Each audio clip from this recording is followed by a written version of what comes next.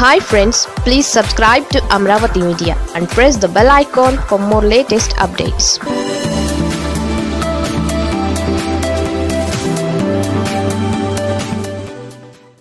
Vangaveeti రాధకు గుడివాడ కాదు మరో ప్లేస్ దొరికేసింది.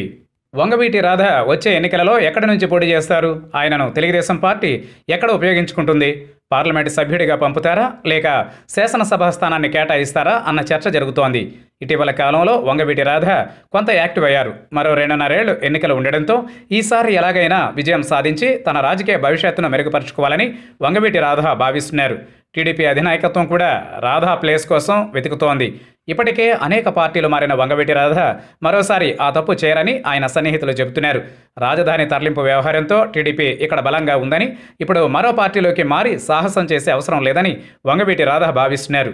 అయితే వంగవీటి రాధకు సెంట్రల్ నియోజకవర్గం నుంచి పోటీ చేయాలని ఆసక్తి మెండుగా ఉంది.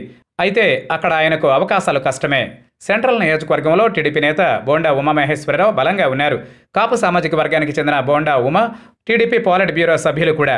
గత ఎన్నికల్లోనూ ఆయన స్వల్ప ఓట్ల మెజారిటీతోనే ఓటమి పాలయ్యారు. అందుకే ఉమను కాదని సెంట్రల్ నియోజకవర్గం టీడీపీ టికెట్ దక్కే అవకాశం వంగపెట్టి రాధకు ఎంతమాత్రం లేదు. దీంతో ఆయన ఇతర నియోజకవర్గాలకు వెళ్ళాల్సి ఉంటుంది. వంగవీటి రాధా కుటుంబానికి రాష్ట్ర వ్యాప్తంగా అభిమానులు ఉన్నారు ఆయనను ఆ సామాజిక వర్గం బలంగా ఉన్న చోట పోటీ చేయించాలని చంద్రబాబు ఆలోచిస్తున్నారు. గోరంట్ల బుచ్చయ్య చౌదరి ఎటు వచ్చే ఎన్నికలలో పోటీ చేయరు. ఆయన ప్రస్తుతం ప్రాతినిధ్యం వహిస్తున్న రాజమండ్రి రూరల్ నియోజకవర్గం నుంచి వంగవీటి రాధాను పోటీ చేస్తే బాగుంటుందని కూడా భావిస్తున్నారు. తొలుత గుడివాడ నుంచి బరిలోకి దింపాలనుకున్న వంగవీటి రాధాకు సేఫ్ ప్లేస్ రాజమండ్రి రూరల్ అనే అభిప్రాయం పార్టీలో వ్యక్తమవుతోంది.